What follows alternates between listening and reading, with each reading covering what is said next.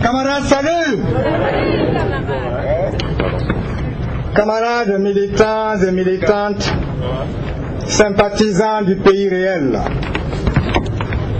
démocrates, patriotes, révolutionnaires du Burkina et d'ailleurs, combattants de la liberté, population de Ouagadougou et du Burkina, jeunesse patriotique et révolutionnaire du Burkina.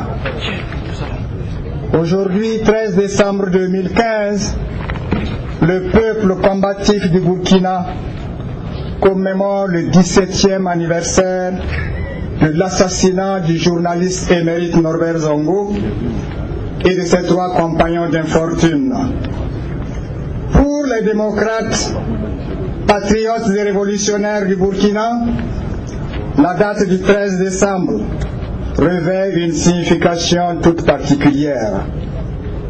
Elle marque en effet l'assassinat crapuleux d'un démocrate sincère et militant convaincu des droits de l'homme. Un coup de poignard porté par le régime Compaoré contre la liberté d'expression au Burkina. Le début d'une croisade sans précédent contre l'impunité et pour les libertés politiques au Burkina, menée avec patience, persévérance et détermination par le mouvement démocratique et révolutionnaire de notre pays. En commémorant le 13 décembre, nous nous devons d'évoquer pour la mémoire et pour la postérité la vie du journaliste Norbert Zongo. Norbert Zongo, alias Ari Sebgo, directeur de publication de l'hebdomadaire burkinabé indépendant, était un journaliste démocrate et patriote. Militant passionné, il a sillonné les provinces du Burkina, animant des conférences et sensibilisant les populations sur les droits humains.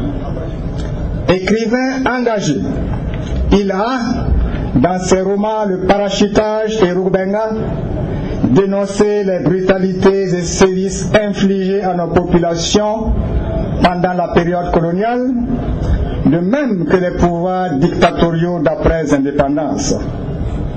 Au plan professionnel, Norbert Zongo a poussé le journalisme d'investigation à un niveau jamais égalé dans notre pays, mettant au grand jour et dénonçant notamment les pratiques mafieuses ainsi que le trafic sordide opéré sous le pouvoir de la quatrième République.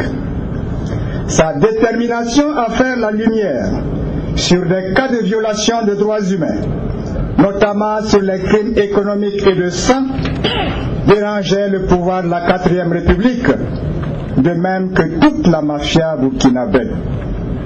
Malgré les intimidations et pressions diverses, les tentatives de corruption et menaces de mort, Norbert Zongo a persisté dans ses enquêtes jusqu'à cet après-midi fatidique du 13 décembre 1998, où il a été lâchement assassiné et brûlé, lui et ses compagnons de fortune, Ernest Zongo, Blaise Ilboudou et Ablassé Nichema. Norbert Zongo enquêtait alors sur l'affaire David Ouedraogo, chauffeur de François Compaoré, frère cadet du chef de l'État, Blaise Compaoré, mort sous la torture des militants de l'ex-RSP. L'assassinat de Norbert a provoqué un sursaut national patriotique salvateur du peuple burkinabé qui a alors engagé une croisade sans merci l'impunité des crimes de sang et des crimes économiques et pour les libertés démocratiques au Burkina. Conduite par le collectif PILA CCDC, la lutte de notre peuple a contribué à l'élargissement des espaces de liberté ainsi qu'à l'éveil de conscience de nos populations, fragilisant le pouvoir de la quatrième République et conduisant à d'importantes luttes victorieuses dont l'insurrection populaire des 30 et 31 octobre 2014 et la résistance héroïque contre le coup d'État de type fasciste de septembre 2015.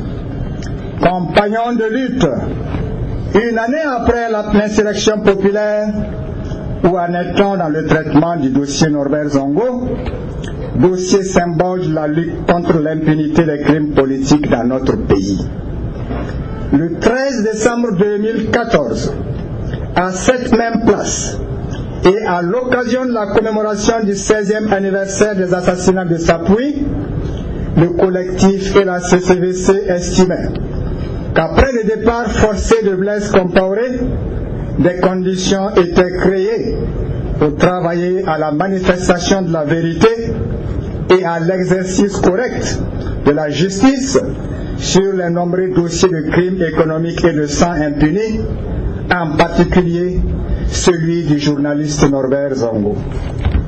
Camarades, qu'ils vous souviennent qu'à ce 13 décembre 2014, le Premier ministre Yacouba Isaac Zida lui-même, présent à cette même place de la Révolution, et s'adressant personnellement aux militants et au peuple burkinabé, avait promis que lumière serait faite sur l'affaire Norbert Zongo et que justice lui serait rendue.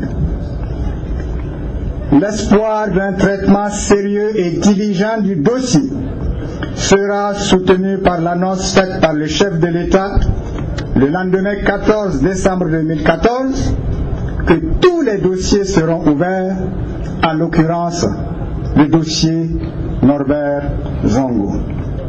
Mais alors, camarades, une année après et à quelques semaines la fin de la période de transition, où en sommes-nous Après l'annonce de la réouverture du dossier en décembre 2014, il a fallu attendre quatre mois, soit le 30 mars 2015, pour que le procureur général fasse une requête officielle au nouveau juge d'instruction, nommé le 8 mars 2015, pour l'ouverture effective du dossier Norbert Zongo.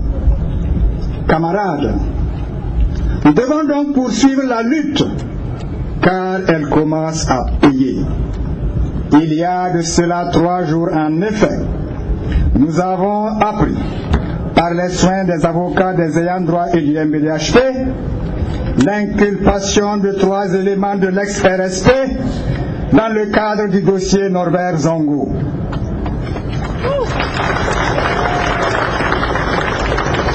Il s'agit du soldat Christophe Combasseri, du caporal Wampas Banakulma et du sergent Banagulo Yaro. Oui, camarades, voilà que la lutte commence à payer. N'est-ce pas, camarades? N'est-ce pas, camarades?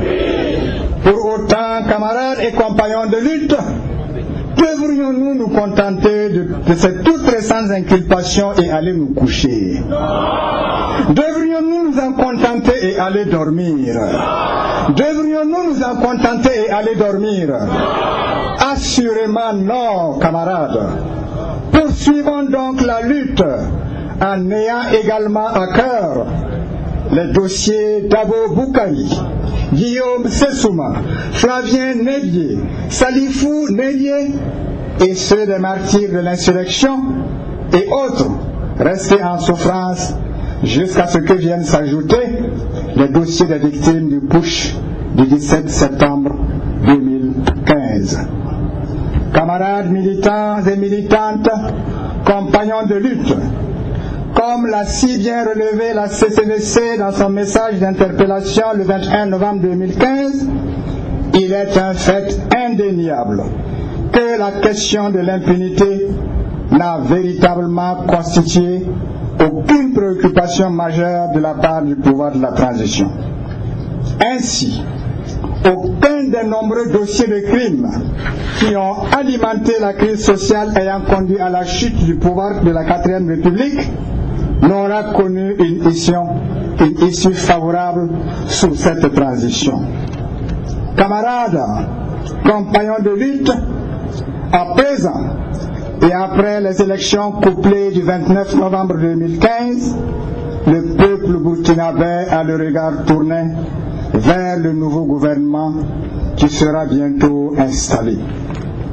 Au cours de la campagne présidentielle et précédé, ayant précédé les élections, nombreux de ces candidats, et en particulier celui du MPP, Roch Marc Christian Caboret, ont promis de s'attaquer à l'impunité au Burkina Faso une fois élus.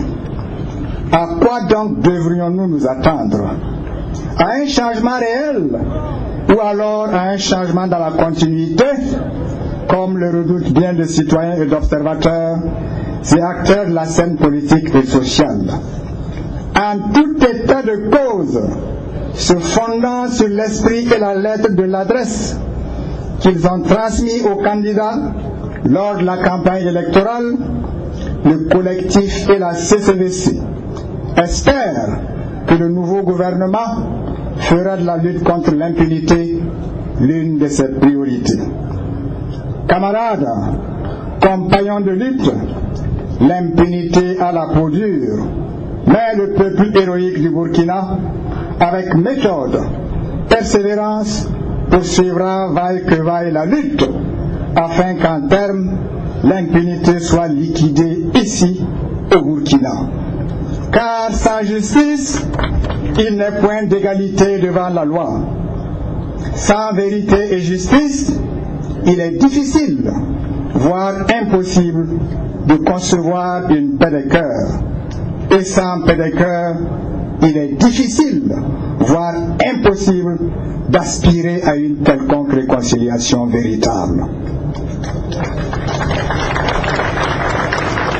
En conséquence, camarades, le collectif et la CCDC insistent sur le fait que ce qui comptera le plus pour la suite, c'est la mobilisation des militants et militantes.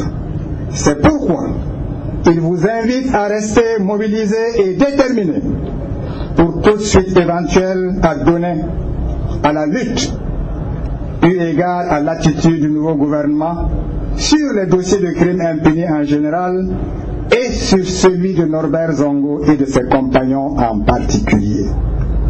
Instruction sérieuse du dossier Norbert Zongo et compagnons. Vérité et justice pour les matifs d'octobre et de septembre 2015. Vérité et justice pour Dabo Boukari, Guillaume Tessouma, Flavien Nebier, Salifou Nebier, Oumarou Clément et toutes les victimes de crimes de sang impunis. En avant, camarades, pour la lutte. En avant, camarades, pour la lutte. Nalara, Nalara.